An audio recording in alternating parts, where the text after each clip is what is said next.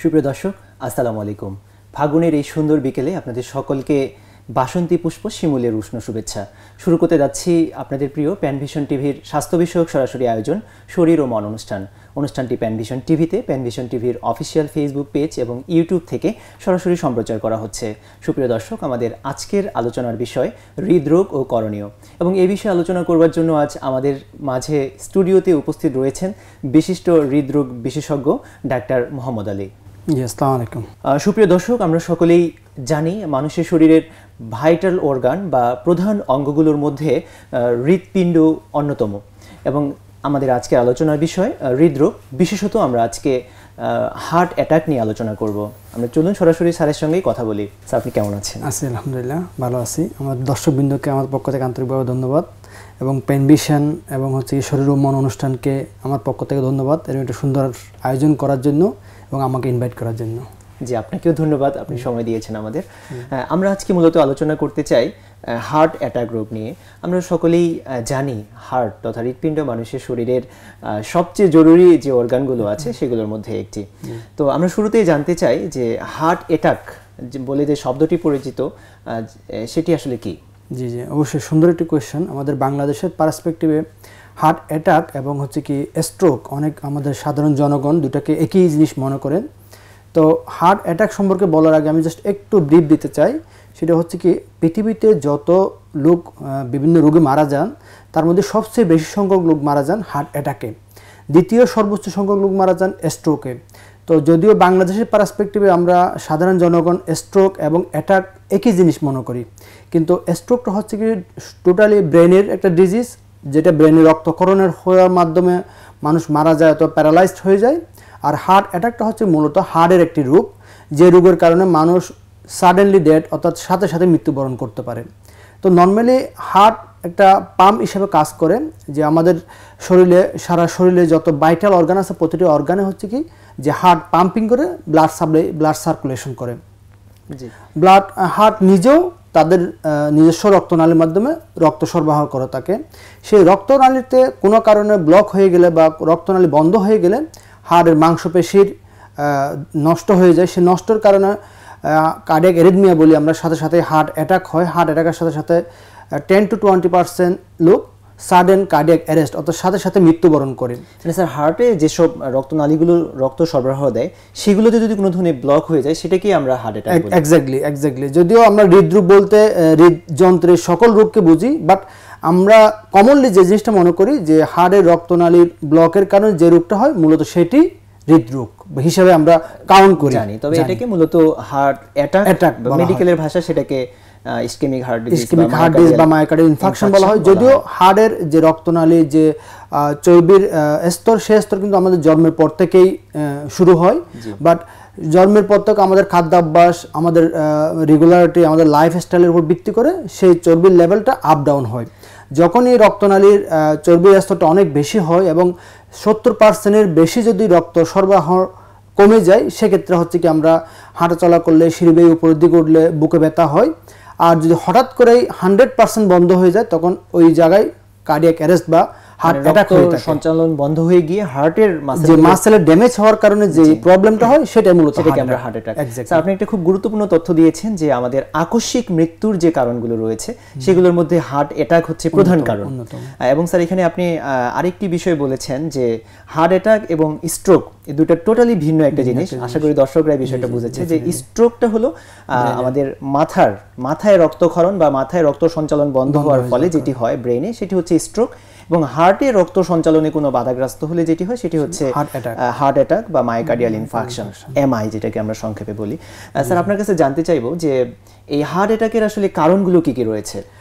মূলত আসলে হার্টের অনেকগুলো কারণ বিশেষ করে আমরা হার্ট অ্যাটাক তাদেরই বেশি পাই যাদের হচ্ছে কি ফ্রি এক্সিস্টিং ডিজিজ বা আগে থেকে যাদের ডায়াবেটিস আগে থেকে যাদের প্রেশার কোলেস্ট্রল ওবেসিটি যাদের থাকে, আমরা এটাদেরকে রিস্ক ফ্যাক্টর বলি। অর্থাৎ যাদের রিস্ক ফ্যাক্টরগুলো থাকে, তাদের হার্ট অ্যাটাকের পরিমাণ অনেক বেশি বেড়ে যায়। তাছাড়া অনিয়ন্ত্রিত জীবন মানসিক চাপ, ইদানিং আমরা যে পেশেন্টগুলো পাই ম্যাক্সিমাম পেশেন্ট পাওয়া যায় young adult around thirty to forty five years but maximum ক্ষেত্রে হচ্ছে ব্যাংকার অর্থাৎ তারা স্ট্রেসফুল লাইফ লিড করার কারণে ম্যাক্সিমাম ইয়াং এজে হার্ট অ্যাটাক নিয়ে আমাদের কাছে আসেন। কিন্তু ম্যাক্সিমাম পেশেন্ট যারা ডায়াবেটিক কন্ট্রোল থাকে না, যাদের প্রেশার কন্ট্রোল থাকে না, যারা সিগারেট স্মোক করেন কন্টিনিউয়াস সিগারেট খান, তাদের হার্ট অ্যাটাকের ঝুঁকিটা অনেক বেশি। আমরা বলি সাধারণ যারা লাইফ লিড করেন, যাদের ডায়াবেটিস নাই, যাদের প্রেশার নাই, যারা স্মোক করেন না, তাদের তুলনায় যাদের প্রেশার ডায়াবেটিস স্মোক করেন, তাদের হার্ট অ্যাটাকের রিস্কটা টেন টু টোয়েন্টি পার্সেন্ট বেশি। সো আমরা মনে করি যে এই জিনিসগুলো আমাদেরকে অ্যাভয়েড করা দরকার। নাম্বার এক নাম্বার টু হচ্ছে কি, অনেকের ফ্যামিলি হিস্ট্রি আছে যে মা বাবায়ের মায়ের, বাবার তার হার্টের সমস্যা এবং মা বাবার হাই কোলেস্ট্রল তাদের ক্ষেত্রে দেখা যায় খুব আর্লি স্টেজে ইয়াং এজে হার্ট অ্যাটাক নিয়ে আমাদের কাছে আসেন। কোলেস্ট্রলের পরিমাণ বেশি হলে হার্ট অ্যাটাকের সম্ভাবনা বেড়ে যায়। অনেক বেশি বেড়ে যায়। স্যার বয়সের একটা বিষয় আপনি বলছিলেন। যে স্বাভাবিকভাবে কি এটা এক্সপেকটেশন করা যায় যে বয়স বেশি হলে হার্ট অ্যাটাকের সম্ভাবনা বাড়ে? ডেফিনেটলি ডেফিনেটলি আমরা আসলে একটা হার্ট অ্যাটাকটা হচ্ছে কি মূলত বয়স্ক বা ইয়াং অ্যাডাল্টদের থেকে শুরু হয়। নর্মালি হার্ট অ্যাটাক যেহেতু আমাদের রক্তের মধ্যে চর্বির স্তর জমার কারণ হয়ে থাকে সো আমাদের বয়স যত বাড়তে থাকে চর্বির স্তরের পরিমাণ তত বাড়ে। বাট সেটা এমন বলা যাবে না যে ওনার বয়স হলেই হার্ট অ্যাটাক হবে বয়স কম হলে হার্ট অ্যাটাক হবে না তা কিন্তু বলা যাবে না। আমার লাইফে আমি ষোলো বছরের বয়সের পেশেন্টের হার্ট অ্যাটাক হিসেবে আমি পেয়েছি। তো তার অনেকগুলো কারণ থাকে। নর্মালি আমরা তিরিশ চল্লিশ বছর আগে হার্ট অ্যাটাক পাই না। তাদেরকে পাই যাদের ফ্যামিলি হিস্ট্রি পজিটিভ নাম্বার এক। আর কিছু হচ্ছে ইমেজিং ফ্যাক্টর আছে যেগুলো হচ্ছে নর্মালি আমাদের থাকে না। যেমন একটা হচ্ছে ফ্যামিলিয়ার হাইপার কোলেস্ট্রলেমিয়া যদি ফ্যামিলিয়ার হাইপার কোলেস্ট্রমিয়া থাকে সেক্ষেত্রে আর্লি এজে আমাদের কাছে হার্ট অ্যাটাক নিয়ে প্রেজেন্ট করতে পারে। স্যার উচ্চ রক্তচাপের সঙ্গে হার্ট অ্যাটাকের সম্পর্কটা যদি একটু বলতেন। ডেফিনেটলি ডেফিনেটলি উচ্চ রক্তচাপ হার্ট অ্যাটাকের একটা অন্যতম কারণ। অন্যতম কারণ এই অর্থে যে যাদের প্রেশার অনেক বেশি থাকে আমরা হার্ট অ্যাটাকের কারণটা আমরা যদি বুঝতে পারি যে হার্ট অ্যাটাকের কয়েকটা ফ্যাক্টর জড়িত। তার মধ্যে একটা সবচেয়ে গুরুত্বপূর্ণ ফ্যাক্টর হচ্ছে কি রক্তনালীতে চর্বির স্তর জমা। আমাদের যখন কোলেস্ট্রল লেভেলটা বাড়তে থাকে আমাদের ফ্যাটের লেভেলটা আমাদের করোনারি ওয়াল বলি বা রক্তনালীর নালিতে বলি স্তর জমতে থাকে। যখনই ব্লাড ফ্লো হয় বা ব্লাড যাওয়া আসা করে নালীর মধ্য দিয়ে তখনই ওই প্লাগের যে উপরে আবরণ থাকে আবরণটা রাপচার হয়ে যায়। যখনই রাপচার হয় সাথে সাথে রক্ত লোহিত রক্তকণিকা এবং আদার অনুকণিকাগুলো ওখানে এসে জমাট বাঁধে। সাথে সাথেই আমাদের টোটাল অর্থাৎ রক্তনালীটা হান্ড্রেড পার্সেন্ট বন্ধ হয়ে যায়। বন্ধ হয়ে যায়। এবং তার কনসিকুয়েন্স হিসেবেই হয়তো বা মানুষ সাথে সাথেই মারা যেতে পারে অথবা বুকে ব্যথা নিয়ে শরীর ঘাম নিয়ে প্রেশার কম নিয়ে একেবারে স্যার, আনকনসিয়াস আমরা আমাদের আলোচনায় আসব আমাদের একটি ফোন এসেছে। জি দর্শক। আসসালামু আলাইকুম। ওয়ালাইকুম আসসালাম। দর্শক কে আছেন আমাদের সাথে? আপনার পরিচয় দিয়ে প্রশ্নটি করুন। আমি মোহাম্মদ মিঠু মিয়া বগুড়া থেকে বলছিলাম মোহাম্মদ আলী স্যারের সাথে কথা বলতেছি জি জি, অবশ্যই বলুন। স্যার আছেন আমাদের সাথে জি। বলুন প্রশ্ন করেন আসসালামু আলাইকুম। জি ওয়ালাইকুম আসসালাম। জি বলুন। স্যার আমি একজন হোম টিউটোরিয়াল আমার মাঝে মাঝে বুকের বাম পাশে একটু কথা বলতে গেলে ব্যথা করে। জি জি জি জি। বাট কিছুক্ষণ কথা স্টপ করলে জি জি। ব্যথাটা এমনিতে সেরে যায়। আচ্ছা আচ্ছা। এটা- এটা কিসের লক্ষ্য আচ্ছা সুন্দর কোয়েশ্চেন ধন্যবাদ একটা সুন্দর কোয়েশ্চেন করার জন্য। আমাদের ইন জেনারেল যারা আমাদের অনেকেই আমরা যারা কার্ডিওলজিস্ট আছে আমাদের কাছে ম্যাক্সিমাম পেশেন্টই হচ্ছে কি চেস্ট পেন নিয়ে আসে। উনি যেটা বলল যে উনি একটু কথা বললে উনার বুকে ব্যথা হয় কিন্তু উনি কথা বলে স্টপ করলে ব্যথাটা কমে যায়। তো আমাদের সবচেয়ে ইম্পর্টেন্ট পয়েন্ট হচ্ছে কি যে কার্ডিয়াক চেস্ট পেনটা কার্ডিয়াক কিনা সেটা ইভ্যালুয়েশন করার জন্য এক নম্বর কারণ হচ্ছে কি যদি বুকের ব্যথাটা হাঁটলে, কোনো একটি মানে ভারী কাজ করলে, সিঁড়ি বেয়ে উপরের দিকে উঠলে বাড়ে বাট বসে থাকলে, শুয়ে থাকলে যদি ব্যথা না থাকে, সেটা হান্ড্রেড পার্সেন্ট কার্ডিয়াক যদি কারও বসে থেকে ব্যথা হচ্ছে, কারও কথা না বলে ব্যথা হচ্ছে, কারও কোনো কিছু না করে ব্যথা হচ্ছে, কারও চিনচিন ব্যথা হচ্ছে, কোনো একটা লোকালাইজেশন করতে না পারে, তাহলে সেটা কিন্তু কার্ডিয়াক পেন না। অর্থাৎ কার্ডিয়াক পেনের কয়েকটা ক্যারেক্টার আছে। নাম্বার ওয়ান ক্যারেক্টার হচ্ছে সেটা সেন্ট্রাল হবে নাম্বার এক। নাম্বার টু হচ্ছে সে পেনটা রেডিয়েশন হবে। নাম্বার টু হচ্ছে কি, সে পেনের সাথে অ্যাগ্রাভেটিং ফ্যাক্টর থাকবে। অর্থাৎ পেনটা বাড়বে কখন? যদি সে কোনো হেভি ওয়ার্ক করে, সে কোনো হাঁটাহাঁটি করে, সে সিঁড়ির উপর দিকে উঠলে। আর সে পেনটা রিলিফ হবে কখন? যদি সে বসে থাকে, কোনো কাজ না করে, সে পেনটা রিলিফ হয়ে যাবে। তো কারও যদি বসে থাকা অবস্থায় পেন হয়, হাঁটলে পেনে সিভিয়ারিটি না বাড়ে, তাহলে সেটা কখনো কার্ডিয়াক পেন না। দর্শক, আশা করি আপনার উত্তরটি পেয়েছেন। আপনি আমাদের সঙ্গে থাকুন। আশা করি বাকি আলোচনাগুলো শুনলে আপনার উত্তরটি আরও আপনি সুন্দর করে বুঝে নিতে পারবেন। স্যার, আমাদের পরবর্তী আলোচনা হচ্ছে এই হার্ট অ্যাটাক যদি কারও হয়ে যায় তাহলে তাৎক্ষণিকভাবে যদিও একজন পেশেন্ট কিছু প্রশ্ন করেছেন আপনি কিছু উত্তরও দিয়েছেন আমরা একটু শুনতে চাই যে কোনো রোগীর যদি হার্ট অ্যাটাক হয় তাহলে সেক্ষেত্রে ওনার কি কি লক্ষণ উপসর্গ বা মানে সাইন সিমটম কি কি প্রকাশ পাবে তাৎক্ষণিকভাবে? হ্যাঁ আমাদের আসলে আমরা যেহেতু হার্ট অ্যাটাকের মর্টালিটি সবচেয়ে বেশি অর্থাৎ কারও যদি হার্ট অ্যাটাক হয়ে থাকে তার মৃত্যুর ঝুঁকি কিন্তু ষাট থেকে চল্লিশ চল্লিশ থেকে ষাট পার্সেন্ট তো সেক্ষেত্রে আমাদের এই জিনিসটা অবশ্যই মাথায় রাখতে হবে। কারও যদি বুকে ব্যথা হয় কাল বিলম্ব না করে ডক্টরের শরণাপন্ন অথবা হসপিটালে যাওয়া উচিত। আচ্ছা, এক নম্বর হচ্ছে যে বুকে ব্যথা হয় এক নম্বর হচ্ছে বুকে ব্যথা। তো সেক্ষেত্রে অনেক আমাদের আমাদের কাছে অনেক পেশেন্ট আসে বুকে ব্যথা নিয়ে। তো সব ব্যথা কিন্তু হাড়ের ব্যথা না। তো যদি আমার প্রশ্ন হচ্ছে যদি কোনো দর্শক বা কোনো দর্শক তার বুকে ব্যথাকে, হাড়ের ব্যথা হিসেবে না নিয়ে বসে থাকে ইনকেস যদি হাড়ের ব্যথা হয়ে থাকে, তার মর্টালিটি অনেক বেশি। সো আমাদের কথা হচ্ছে যখনই আপনার মনে হবে যে না, আমার বুকে ব্যথা হচ্ছে আমার বুকে অস্বস্তি লাগতেছে অবশ্যই অবশ্যই নিকটস্থ হসপিটাল অথবা ডাক্তারের শরণাপন্ন হবেন। আচ্ছা, আপনি এক নম্বর বললেন বুকে ব্যথা। আর কি কি হ্যাঁ, লক্ষণ এখন আসেন হচ্ছে কি যে আমরা কি কি লক্ষণ দিয়ে আপনারা যারা আছেন সাধারণ জনগণ বুঝতে পারে যেটা হাড়ের ব্যথা। নাম্বার এক হচ্ছে বুকের ব্যথা। ব্যথাটার কয়েকটা ধরন থাকবে। নাম্বার এক ব্যথাটা আমার হচ্ছে সেন্ট্রাল চেস্ট পেন আমরা যেটা বলি অর্থাৎ কোনো একটা পিন পয়েন্ট হবে না যে এই জায়গায় বা এই জায়গায় একটা লোকেশন করতে পারবে না। সে বলবে আমার স্টার নাম্বার আমার সারা বুকের ঠিক মাঝখানটায় ব্যথা হবে। মাঝখানটায় ব্যথা সে লোকেশন করতে পারবে না নাম্বার এক। সে ব্যথাটা আমার বাম হাতের দিকে রেডিয়েশন অর্থাৎ বাম হাতের দিকে যাওয়ার টেন্ডেন্সি থাকবে। নাম্বার দুই অনেক সময় ব্যথাটা আমাদের কাছে বুকের জ্বালা নিয়েও আসে। অনেকে বলে যে আমার বুকের জ্বালা বুকের জ্বালা এমনও হয় যে সে অনেক গ্যাস্ট্রেন্টোলজি সে শরণাপন্ন হচ্ছে অনেক তার অ্যান্টি আলসারের ওষুধ খাওয়া হয়েছে তার ব্যথা বুকের জ্বালা কমে না। অনেক সময় বুকের জ্বালা নিয়েও প্রেজেন্ট করতে পারে। আর নাম্বার তিন চাপ দেয়া দেওয়া অনেক চাপ দিয়ে বুককে অস্বস্তি লাগা চাপ দিয়ে ধরে রাখা এটা এক ধরনের আমাদের চেস্ট পেনের কজ আর সেই পেইনটা ম্যাক্সিমাম ক্ষেত্রে বসে থাকলে বা রেস্ট নিলে কমে যাবে। যদি হাঁটা চলা করে সেই পেইনটা বাড়তে থাকবে। এর সাথে কি শ্বাসকষ্টের কোনো লক্ষণ প্রকাশ পেতে পারে?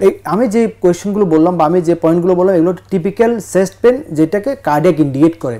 অনেক ক্ষেত্রে পেশেন্ট আমাদের কাছে অ্যাটিপিক্যাল পেইন নিয়ে আসে অ্যাটিপিক্যাল সিনড্রোম অর্থাৎ যে সিনড্রোমগুলো আমরা নর্মালি কার্ডিয়াক হিসেবে পাই না তার মধ্যে একটা হচ্ছে সে শ্বাসকষ্ট নিয়ে আসতে পারে দু নম্বর হচ্ছে সে অস্বস্তি নিয়ে আসতে পারে তিন নম্বর হচ্ছে বুকের জ্বালা নিয়ে আসতে পারে।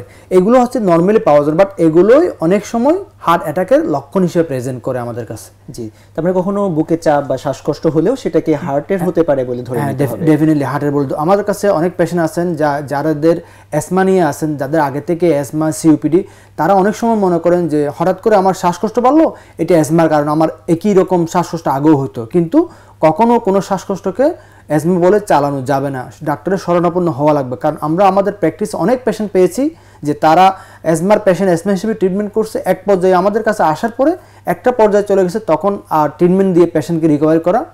সম্ভব। পসিবল হয়নি। আমাদের স্যার অনেক ধন্যবাদ আপনি হার্ট অ্যাটাকের লক্ষণগুলো খুব সুন্দর করে মানুষকে জানানো বলেছেন স্যার।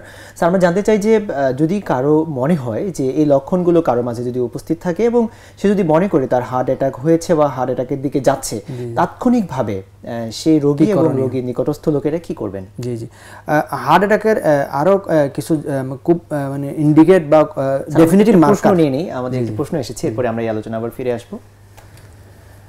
জি দর্শক আসসালামু আলাইকুম। কে আছেন আমাদের সাথে? আপনার পরিচয় দিয়ে প্রশ্নটি করুন। আসসালামু আলাইকুম। আমি কাশ্মীর বলতেছি। জি ওয়ালাইকুম। কোথা থেকে বলছেন? জি আপনার প্রশ্নটি করুন।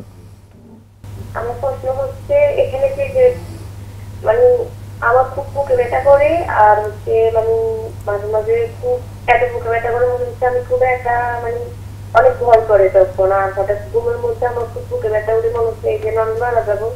জি। জি অনেক ধন্যবাদ। স্যার আমাদের সাথে আছেন আপনি আমাদের আলোচনা শুনতে থাকুন। আশা করি আপনার উত্তর পেয়ে যাবেন। অনেক ধন্যবাদ আপনাকে। জি ধন্যবাদ।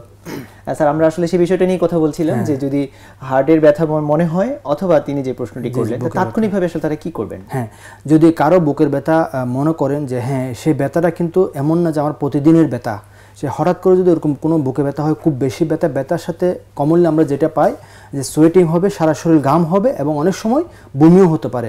যদি এরকম ডেফিনেটলি মনে হয় যে খুব বেশি ব্যথা হচ্ছে, সারা শরীর ঘাম দিচ্ছে এবং হচ্ছে বমি বমি ভাব হচ্ছে, তার কাল বিলম্ব না করে অবশ্যই ডক্টর অথবা হসপিটালে যাওয়া লাগবে। বাসায় কোনো ট্রিটমেন্ট করা যাবে না। কারণ হচ্ছে কি যে আমাদের যে তার হার্ট অ্যাটাক কিনা সেটা কনফার্ম করার জন্য আমরা কিছু পরীক্ষা নিরীক্ষা করে থাকি। সেই পরীক্ষা নিরীক্ষাগুলো করে কনফার্ম করার পরে আমরা ট্রিটমেন্ট শুরু করি। যদিও আমাদের কিছু প্রাথমিক চিকিৎসা আছে যেগুলো আমরা দিয়ে থাকি, সেক্ষেত্রে আমরা কয়েকটা মেডিসিন একসাথে করে ইনিশিয়াল দেওয়া হয়, তারপরে পরীক্ষা নিরীক্ষা রিপোর্ট আসার পরে মেইন ট্রিটমেন্ট যে চামড়ার নিচে যে ইনজেকশন লো মলিকুলার হ্যাপারিন বলি, সেটা আমরা শুরু করি। ট্রিটমেন্ট ইনভেস্টিগেশন করে ডেফিনেটিভ ডায়াগনোসিস করার পরেই তারা কিন্তু আমরা ওই ওষুধ শুরু করি না। তার মানে বুকের ব্যথা যদি কেউ অনুভব করে এবং আমাদের ইউটিউবে অনেকগুলো প্রশ্ন এসেছে প্রায় বেশিরভাগ প্রশ্নগুলো যে বুকে ব্যথা এবং অনেকের বুকে ধরফর করে অনেকের যে মনে হয় যে আমি বুঝি মারা যাব বা মারা যাচ্ছে এরকম কিছু ভয় আছে। তো এগুলোর সঙ্গে হার্ট অ্যাটাকের সম্পর্ক আছে।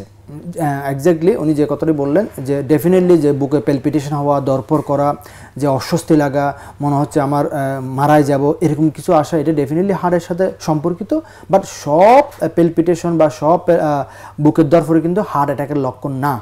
অনেক সময় আমাদের শরীরে যদি ব্লাডের পরিমাণ কম থাকে, অনেক সময় আমরা অ্যাংজাইটিতে থাকলে, যেমন আমি যদি কোনো একটা প্রোগ্রামে থাকি, কোনো একটা ইন্টারভিউতে থাকলে, সেক্ষেত্রে পেলপিটেশন হয়। সেই পেলপিটেশন ডেফিনেটলি নিউরোলজিক্যাল সেটা কিন্তু কার্ডিয়াক না।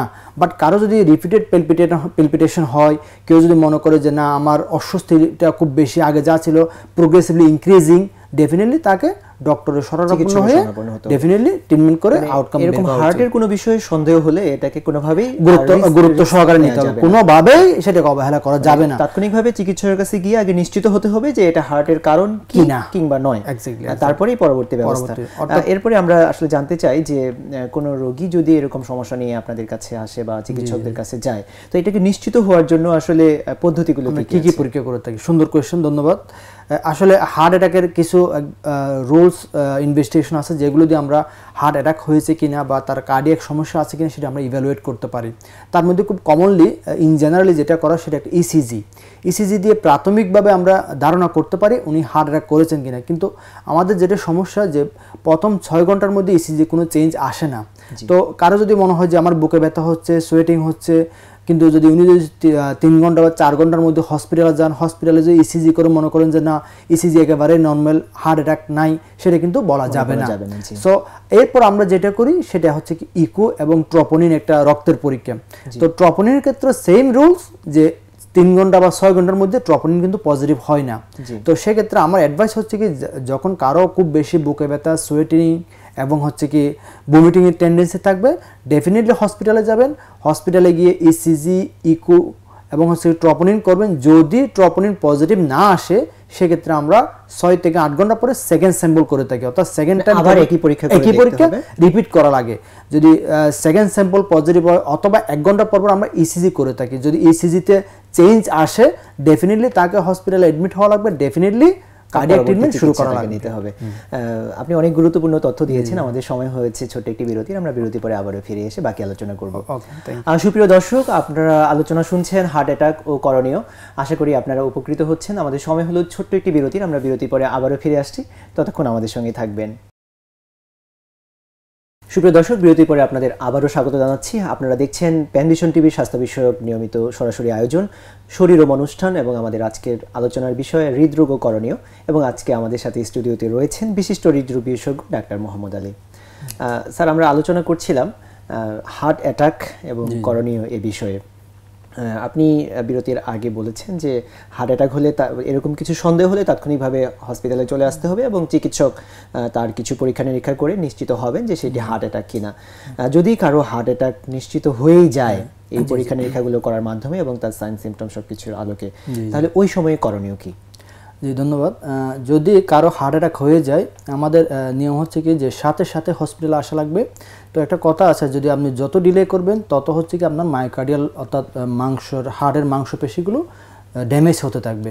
তো আমরা বলি যদি কোনো পেশেন্ট যার হার্ট অ্যাটাক অর্থাৎ প্রথম ব্যথা শুরু হওয়ার বারো ঘণ্টার মধ্যে যদি হসপিটাল আসতে পারে, তার জন্য এক নাম্বার ট্রিটমেন্ট মানে সারা ওয়ার্ল্ডের এখন হচ্ছে কি সবচেয়ে আধুনিক ট্রিটমেন্ট হচ্ছে কি, সাথে সাথে ক্যাথলেবে নিয়ে গিয়ে তার ব্লকটা ক্লিয়ার করে ওখানে একটা রিং পরিয়ে দেওয়া আর যদি কেউ যদি বারো ঘণ্টার মধ্যে আসতে না পারে বা আস্তে আস্তে অনেক ডিলে হয়ে যায়, তাহলে কাল বিলম্ব না করে যেখানে আসবেন, যে হসপিটালে আসবেন সেই হসপিটালে যদি ওরকম ক্যাথল্যাব ফেসিলিটি না থাকে বা এনজিওগ্রামের ফেসিলিটি না থাকে যে হসপিটাল ওই হসপিটালেই আমরা একটা দামি ইনজেকশন বলি। সেই ইনজেকশনও একই কাজ করে একটা হচ্ছে কি ডাইরেক্ট কাজ আর একটা হচ্ছে কি ইনডাইরেক্ট সে হচ্ছে কি ওই ওষুধটা দেওয়া হয় একটা দামি ইনজেকশন তার হচ্ছে কি ওই ব্লকটা লাইসিস করে দেয়। অর্থাৎ যে ব্লকটা হয়ে যায় সেই ব্লকটা ক্লিয়ার করে দেয়। ভেঙে দেয়। ভেঙে দেয়। ব্লকটাকে আবার পরিষ্কার করে দেয়। সো ট্রিটমেন্ট হচ্ছে বেসিক্যালি দুইটা। যদি বারো ঘণ্টার মধ্যে আসতে পারেন, যদি ফিনান্সিয়ালি পেশেন্টের পার্টি সলভেন্ট হয়, অর্থাৎ টাকা পয়সার দিক দিয়ে ভালো থাকে, তাহলে নাম্বার ওয়ান ট্রিটমেন্ট হচ্ছে কি, সাথে সাথে ক্যাথল্যাবে নিয়ে গিয়ে রাস্তা ক্লিয়ার করে রিং বসিয়ে দিয়ে। আর যদি ক্যাথল্যাব ফ্যাসিলিটি যে হসপিটালগুলোতে আছে, সেখানে যদি আসতে না পারে, অথবা পেশেন্টের যদি আর্থিকভাবে সামর্থ্য না থাকে, তাহলে ওই দামি ইনজেকশনটা দেওয়া আচ্ছা এর বাইরে মানে কেউ যদি দেরি করে ফেলে আপনি বললেন যে বারো ঘণ্টার মধ্যে আসতে পারাতে আশা করি দর্শকরা এই বিষয়টি খুব গুরুত্ব সহকারে নেবেন যে এরকম কিছু মনে হলে তাৎক্ষণিকভাবে হসপিটালে যেতে। এবং আমাদের মোটামুটি এখন আলহামদুলিল্লাহ বাংলাদেশের। চিকিৎসা ব্যবস্থার যে অভূতপূর্ব উন্নতি সাধিত হয়েছে এবং হচ্ছে মোটামুটি সব জায়গাতেই বারো ঘণ্টার মধ্যে হসপিটালাইজ হওয়ার মতো ব্যবস্থা এখন প্রত্যন্ত এলাকাতেও আছে। তো আশা করি যে দর্শকরা বিষয়টি গুরুত্ব সহকারে নেবেন। তো আর কি কি চিকিৎসা পদ্ধতি আসলে রয়েছে যদি বারো ঘণ্টার মধ্যে তারা আসতে না পারেন? জি জি সুন্দর। যদি কেউ যদি বারো ঘণ্টার মধ্যে আসতে না পারে অথবা যে বারো ঘণ্টার আগেই এমন হসপিটালে গেছেন যেখানে কোনো ক্যাথল্যাব ফ্যাসিলিটি নাই অথবা এনজিওগ্রামের ফ্যাসিলিটি নাই, সেক্ষেত্রে উনি ইনজেকশন নেবেন ইনজেকশন নেওয়ার পরবর্তীতে যেসব জায়গায় ক্যাথল্যাব ফ্যাসিলিটি আছে সেসব জায়গায় যদি উনি চব্বিশ ঘণ্টার মধ্যে আসতে পারেন, সেক্ষেত্রে তিন নম্বর অপশন হচ্ছে কি, সাথে সাথে ক্যাথল্যাবে নিয়ে গিয়ে ক্লিয়ার করে দিয়া করে এনজিওগ্রাম করে রিং বসিয়ে দিয়া। অর্থাৎ নাম্বার ওয়ান হচ্ছে কি ক্যাথল্যাবে ডাইরেক্ট আসা, যদি আসতে না পারেন, সেক্ষেত্রে যেখানে ভর্তি হবেন, ওখানে হচ্ছে দামি ইনজেকশনটা দিয়া। যদি তাও না পারেন, যে হ্যাঁ বারো ঘণ্টা পার হয়ে গেছে, উনি দামি ইনজেকশনও পান নাই ক্যাথল্যাবে এসে এনজিওগ্রামও করতে পারেননি। তাদের ক্ষেত্রে যখন আমাদের কাছে ভর্তি হবেন, তখন হচ্ছে conservative treatment conservative treatment means ওই দুটো ট্রিটমেন্ট না দিয়ে, তৃতীয় একটা ট্রিটমেন্ট সেটা হচ্ছে নাভির নিচে ইনজেকশন দেওয়া এবং ওনার ব্লাড প্রেশার আদার ফ্যাক্টরগুলো মনিটরিং করা। মনিটরিং করে ওনাকে ট্রিটমেন্ট দিয়ে এক মাস স্টেবল করার পরে, এক মাস পরে গিয়ে এনজিওগ্রাম করে ব্লকের কী অবস্থা? সেটা অ্যাসেসমেন্ট করা। তার আগে নয়। আরেকটি বিষয় জানতে চাই যে আমাদের তো উপজেলা পর্যায়গুলোতে এখন সব জায়গাতে এরকম পদ্ধতি ডেভেলপ হয়নি। রোগীরা গ্রাম থেকে বা একেবারে প্রত্যন্ত এলাকা থেকে সর্বপ্রথম কিন্তু উপজেলা পর্যায়ে যায়। তো উপজেলা পর্যায়ে আসলে তাদের জন্য বিশেষ তাৎক্ষণিকভাবে কিছু করণীয় আছে কিনা? কোনো ওষুধ খাইয়ে দিয়ে বা এরকম কিছু যদি সন্দেহ যেমন আমরা আমরা শুরুতে বলছিলাম যে প্রাথমিক চিকিৎসা বলে একটা কথা আছে যে যখনই কোনো পেশেন্টের বুকের ব্যথা হবে যখনই কারও বুকের ব্যথা হবে সে যে হসপিটালে যাবেন সেটা হয়তো বা একদম একটা ক্লিনিক হতে পারে সেটা একটা উপজেলা হতে পারে। যদি কোনো কেউ উপজেলা যায় অথবা ক্লিনিকে যায় তখন তারা মূলত করেন কি একটা ইসিজি করেন। যে ইসিজি ক্লিয়ার কার্ড চেঞ্জ থাকে তখন তারা সাথে সাথে কিছু ওষুধ দিয়ে দেন। ওষুধের মধ্যে কয়েকটা ওষুধ আছে যাদের কাজে হচ্ছে কি যে ব্লকটা হয়েছে সে ব্লকটা প্রোগ্রেস না করা যতটুকু আছে অতটুকু রাখা এবং যে ব্লকটা যাতে ফার্দার রাপচার না হয় আরও বেশি বন্ধ না হয়। তার জন্য আমরা ইকোস্প্রিন নামে কিছু ওষুধ আছে ডিসপ্রিন পাওয়া যায়। তিনটা ওষুধ একসাথে পানিতে গুলায় একসাথে দেওয়া হয় তিনশো এম একটা পাওয়া যায় অথবা চারটা ইকোস্প্রিন ক্লপিড অ্যাটোপা এরকম কিছু ওষুধ আছে কার্ডিয়াক ওষুধ সেগুলো একসাথে খাওয়াই দেওয়ার পরেই সাথে সাথে যে সব জায়গায় হসপিটালে হ্যাঁ হসপিটাল ফ্যাসিলিটি আছে ওইসব জায়গায় পাঠিয়ে দেওয়া উচিত। হ্যাঁ কেউ মনে করেন যে না হসপিটাল আস্তে আস্তে অনেক ডিলে হয়ে যাবে পেশেন্টের বিপি কম পেশেন্টের শ্বাসকষ্ট হচ্ছে সেক্ষেত্রে প্রাথমিক ম্যানেজমেন্ট যেমন হচ্ছে শ্বাসকষ্টের জন্য অক্সিজেন দেওয়া এবং ব্লাড প্রেশার বাড়ানোর জন্য কিছু আইনোট্রোপ যেটা বলে অর্থাৎ ব্লাড প্রেশার বাড়ানোর ওষুধ দিয়ে অর্থাৎ ইনিশিয়াল ম্যানেজমেন্টটা করে কাল বিলম্ব না করে যত দ্রুত সম্ভব হসপিটালে পাঠা দিয়ে বা টার্সিয়াল হসপিটালে প্রেরণ করা উচিত। এখানে একটি ছোট্ট জটিলতা আছে সেটি আপনি যদি একটু দর্শকদের উদ্দেশ্যে খোলাসা করে দেন তাহলে ভালো হবে। সেটি হচ্ছে যে উপজেলা পর্যায়ে যখন রোগীরা যায় এবং এ ধরনের পেশেন্টরা আপনি বলেছেন যে আকস্মিক মৃত্যুর এটি এক নম্বর এবং প্রধান কারণ। তো এই অবস্থায় যখন উপজেলা পর্যায়ে যায় রোগীরা অনেক সময় নিজেরাই বাসায় ডিলে করে যায় এবং হসপিটালে যাওয়ার পরে ডাক্তার বুঝতে পারলেন যে তার এমআই হয়েছে বা হার্ট অ্যাটাক হয়েছে। এই অবস্থায় উনি তাকে কিছু ওষুধ খাইয়ে দিলেন। যে ওষুধগুলো আপনি বললেন যে তাৎক্ষণিক ইকোস্প্রিন বা এই ওষুধগুলো খাইয়ে দিলেন অথচ দেওয়ার পরে দেখা গেল যে পরবর্তী সময়ে রোগীটা মারা গেল। টার্সিয়ারি লেভেলে যাওয়ার সময় রোগীটা মারা গেল। তখন অনেক সময় রোগীরা ডাক্তারকে উপজেলা পর্যায়ে যে ডক্টররা সেবা দিয়ে চলছেন নিরলস ভাবে তাদের উপরে একটা দায় নিয়ে আসেন যে এই ওষুধ খাইয়ে বুঝি মেরে ফেলেছে। এই বিষয়টা যদি আপনি একটু ভেঙে দিতেন যে এই ওষুধগুলো কি আসলে এরকম কোনো ক্ষতিকর দিক আছে কিনা? আমি সেম সেম সিচুয়েশনে কিন্তু আমি অনেকবার পড়েছি। আমি আমার এলাকায় আমি যাই। তো ওখানে যে ঘটনা ঘটে যে অনেক সময় আমাদের কাছে যখন পেশেন্ট আসে ম্যাক্সিমাম অ্যাডাল্ট পেশেন্ট কিন্তু একটা খুব খারাপ অবস্থা না যাওয়া পর্যন্ত তারা হসপিটালে বা ডক্টরের কাছে আসেন না। খুব ক্রিটিক্যাল অবস্থায় হ্যাঁ যখন আর পারছেন না তখনই বলছেন হ্যাঁ আমাকে ডক্টরের কাছে নিয়ে যান। তো তারা যখন আমাদের কাছে আসে তখন হচ্ছে আমরা আমাদের যে প্রোটোকল প্রোটোকল অনুযায়ী আমরা ট্রিটমেন্ট করি। তো ডক্টর পেশেন্ট এবং পেশেন্ট অ্যাটেন্ডেন্সের এই জিনিসটা বোঝা উচিত যে কোনো ওষুধ নেই, যে ওষুধকে খাওয়ানোর পরে মানুষ মারা যায় বা মানুষকে মেরে ফেলার কোনো ওষুধ স্টিল না আমরা জানি না, বিষ ছাড়া হ্যাঁ? তো বিষ ছাড়া অন্য কোনো ওষুধ দিয়ে যে মানুষকে মেরে ফেলা যাবে এরকম কোনো ওষুধ ক্রিয়েট হয়নি। তো সবচেয়ে বড় প্রবলেম হচ্ছে আমরা যখন কষ্ট করে পেশেন্টকে বাঁচানোর জন্য ফাইট করতে যাই, তখন পেশেন্ট পার্টি কিন্তু সেটা নেগেটিভলি নেন।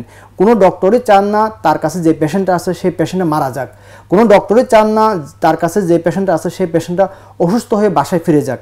প্রত্যেক ডক্টরই চান যে তার পেশেন্টটা সুস্থ হয়ে বাসায় যাক, তার পেশেন্টটা সুস্থ হয়ে যাক, সুস্থ হয়ে সবাইকে গিয়ে তার নাম বলুক। তো পেশেন্ট পার্টিদেরকে এই জিনিসটা বা রোগীর অ্যাটেন্ডেন্সকে এই জিনিসটা মাথায় রাখতে হবে যে ডক্টর যে জিনিসগুলো দিচ্ছেন ডেফিনেটলি ডেফিনেটলি সেটা তার রোগীর জন্য উপকারী। অনেকে মনে করেন যে হ্যাঁ আমার রোগীকে এতগুলো ওষুধ খাওয়ানো হয়েছে আমরা তো একটা বা দুটো ওষুধ খাই। কিন্তু আমাদের ট্রিটমেন্ট প্রটোকলে হচ্ছে কি যে চারটা থেকে ছয়টা ওষুধ একসাথে খাওয়ানো হবে। তো অনেকে এটা অবাক হয়েছে যে এতগুলো ওষুধ কি খাওয়ালো নিশ্চয়ই খারাপ কিছু খাওয়ানো হয়েছে? তো আমাদের দর্শকদের প্রতি অনুরোধ যদি আপনাদের নলেজের ল্যাগিংস থাকতে পারে আপনারা আশেপাশে যারা আছে, তাদের সাথে কাউন্সিলিং করবেন, তাদের কাছ থেকে কোর্স করে নেবেন। কিন্তু ডেফিনেটলি এটা একটা আমাদের ট্রিটমেন্ট প্রোটোকল এটা না খাওয়ালে যে হ্যাঁ আমাদের অনেক পেশেন্ট আমরা পাই যে আমরা ওষুধগুলো দেওয়ার পরে সেই পেশেন্টটা হসপিটাল পর্যন্ত যাওয়ার একটা ওয়ে হয়ে যায়।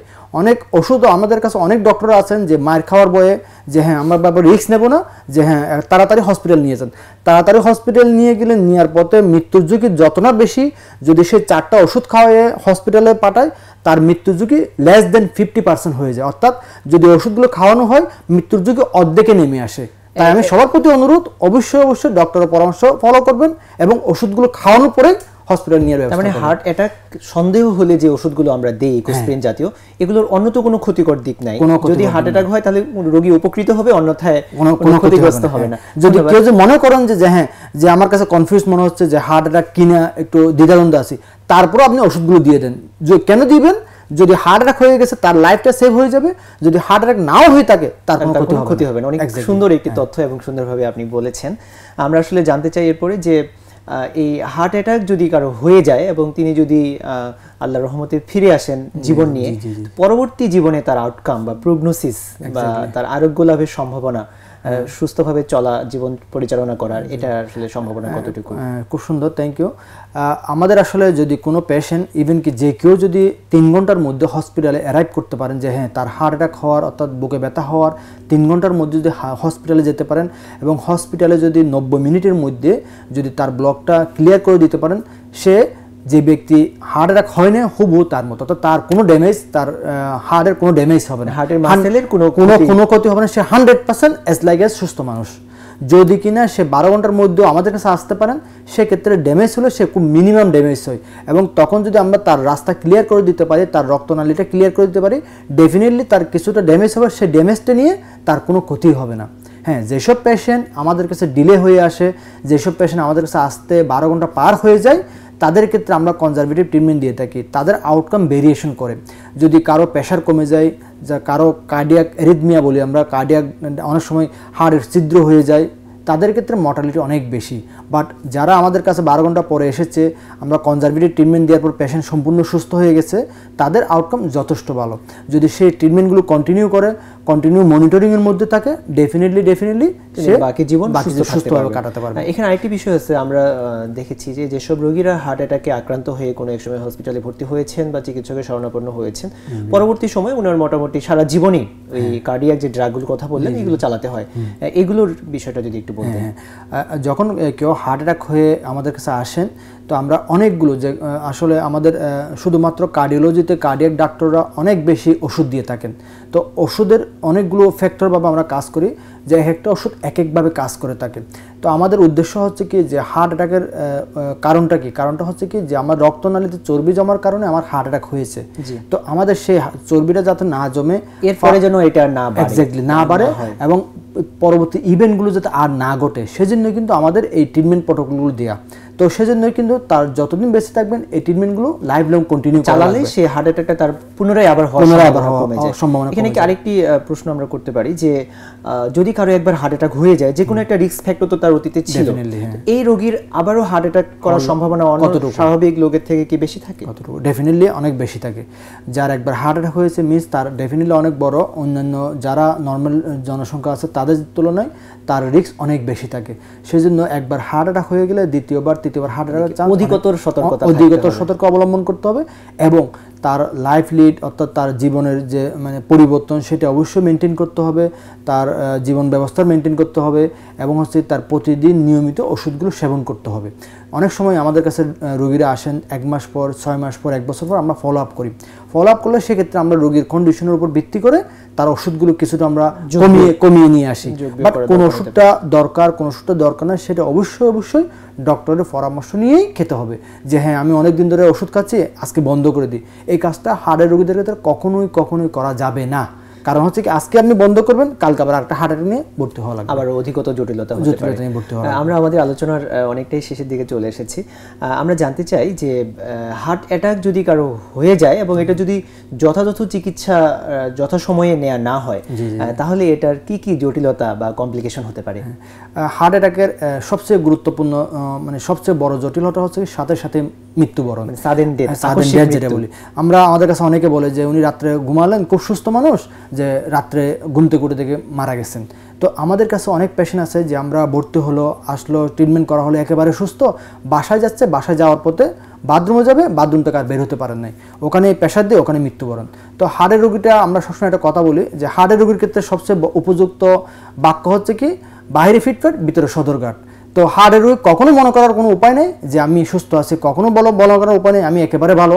কারণ হার্টের রোগটা হচ্ছে কি এমন, অন্য যে কোনো রোগ, আপনি ক্যান্সার বলেন, আপনি সার্জারি বা টিউমার বলেন অথবা কিডনির পাথর বলেন, তারা সবাই জানে। সে নিজেও বুঝতে পারে, তার আশেপাশের লোকজনও বুঝতে পারে যে হ্যাঁ তার একটা প্রবলেম হয়েছে, তার একটা ক্যান্সার হয়েছে, তার একটা পাথর হয়েছে, সে সময় পায় নিজেকে বোঝানোর জন্য। বাট হার্টের রোগটা হচ্ছে এমন যে সে নিজে বোঝার আগেই তার মৃত্যুবরণ হয়ে যায়। তার আত্মীয় স্বজন তো বোঝা দূরের কথা সে নিজে বুঝতে পারে না তার একটা বড় রোগ হয়েছে তার আগে সে দুনিয়া থেকে চলে যায়। তো সেজন্য যে এই জিনিসটা অবশ্যই গুরুত্ব সহকারে দেখতে হবে যদি কি না আমি ঠিকমতো ট্রিটমেন্ট না করি সেক্ষেত্রে এক নম্বর কারণ হচ্ছে সে সাথে সাথে মৃত্যুবরণ করতে পারে।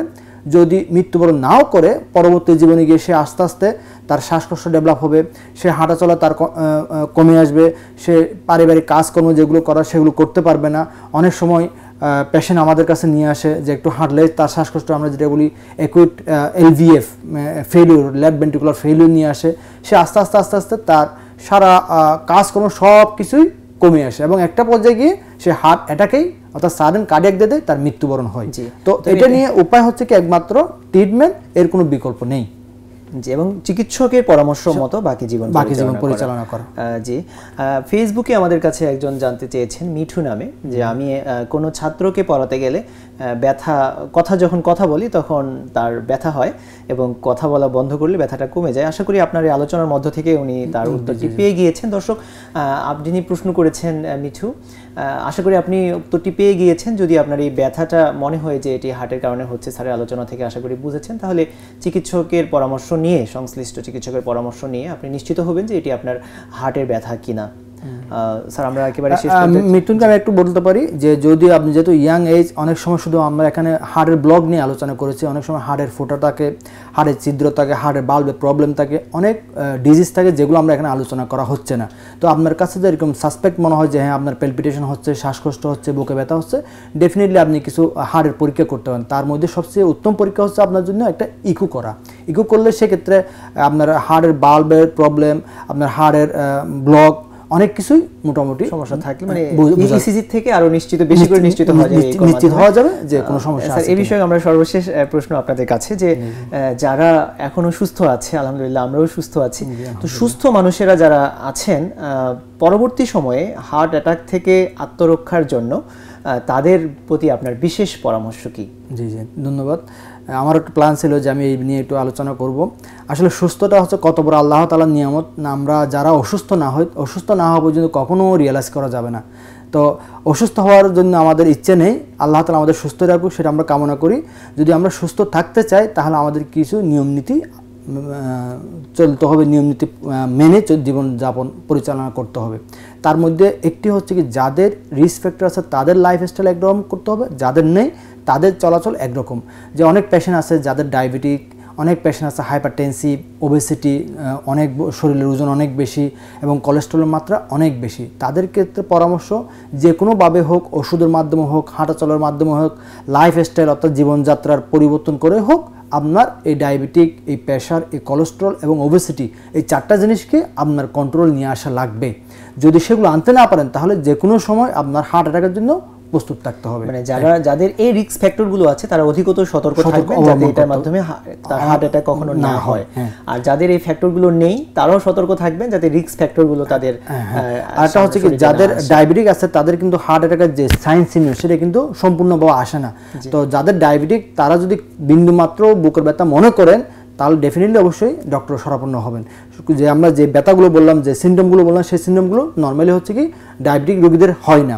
আর যাদের কিছু নেই, যেমন আমাদের মতো যারা আছেন, যাদের প্রেশার নাই ডায়াবেটিক নাই, যারা ওবেস না যারা কোলেস্ট্রল হাই না, তাদের জন্য পরামর্শ যে, এক নম্বর সিগারেট বন্ধ করতে হবে সিগারেট স্মোকিং সবচেয়ে বেশি রিস্ক হার্ট অ্যাটাকের।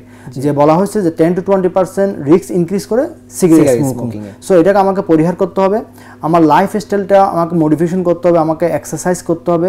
এক্সারসাইজ করে আমার লাইফ লিডটা মেনটেন করতে হবে। স্ট্রেসটা অ্যাভয়েড করতে হবে। খাদ্যাভ্যাসের খাদ্যাভ্যাস এবং হচ্ছে বায়ু। দূষণ খাদ্যাভ্যাস স্ট্রেসফুল লাইফ এবং মানসিক চাপ এগুলো থেকে আমাকে মুক্ত থাকতে হবে। জি আপনি খুব সুন্দর একটি পরামর্শ দিয়েছেন। আশা করি আমাদের দর্শক যারা আছেন এখনও হার্ট অ্যাটাকে আক্রান্ত হন নাই।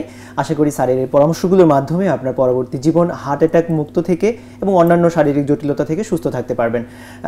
স্যার সর্বশেষে আরেকটি বিষয় যদিও আমাদের আজকের আলোচনার সঙ্গে প্রাসঙ্গিক নয় তারপরেও বিষয়টি একটি আলোচনা না করলেই নয় আমরা সকলেই অবগত আছি এবং দর্শকরাও এই বিষয়টা সম্পর্কে অনেক বেশি কনসার্ন যে বর্তমান সারা বিশ্বে যে বিষয়টি সবচেয়ে বেশি আলোড়িত এবং আলোচিত হচ্ছে আহ, সেটি হচ্ছে করোনা ভাইরাস আহ, চায়না থেকে যা শুরু এবং বিশ্বের বিভিন্ন দেশে ইতোমধ্যেই ছড়িয়ে পড়েছে এবং আমাদের প্রতিবেশী দেশেও ইতোমধ্যেই এই করোনা ভাইরাসের আক্রমণ হয়েছে বাংলাদেশে যদিও এখনও ঘোষণা হয়নি তবুও আমরা এই বিষয়টা নিয়ে আতঙ্কিত অবস্থায় আছি। স্যার সর্বশেষে যদি আপনি একটু করোনা ভাইরাস সম্পর্কে বিশেষ পরামর্শ এবং তার সতর্কতামূলক কি ব্যবস্থা নেওয়া উচিত যদি আমার দর্শকদেরকে জানাতেন। ধন্যবাদ। বর্তমানে গতকাল পর্যন্ত হচ্ছে কি এক লাখের উপর হচ্ছে কি যে করোনা ভাইরাসে আক্রান্ত জনসংখ্যার অ্যামাউন্ট এবং হচ্ছে কি তিন হাজার দুশো জন অলরেডি মৃত্যুবরণ করেছেন সারা ওয়ার্ল্ডে তো প্রতিদিনই নতুন নতুন দেশে সেই করোনা ভাইরাস কিন্তু ছড়িয়ে পড়ছে। ছড়িয়ে পড়ছে তো আমাদের দেশে আমরা আল্লাহ লাখো কোটি গুণ শুক্রিয়া। এখনও পর্যন্ত আমাদের দেশে করোনা ভাইরাস ডিটেক্ট হয় নাই বাট যে কোনো সময় আসতে পারে। তো সেই করোনা ভাইরাস যদি আমাদের দেশে আসে বা সেই করোনা ভাইরাস থেকে আমরা মুক্তির উপায় কি? একটিমাত্র উপায় করোনা ভাইরাস থেকে আসলে যেহেতু পার্সন টু পার্সন অর্থাৎ ব্যক্তি থেকে ব্যক্তি সংক্রামিত হয় আমাদের সব সময় মাথায় রাখতে হবে যে আমাদের মুখে আমাদের হাত সবসময় সাবান দিয়ে দৌত করা আমাদের মুখগুলো সাবান দিয়ে দৌত করা।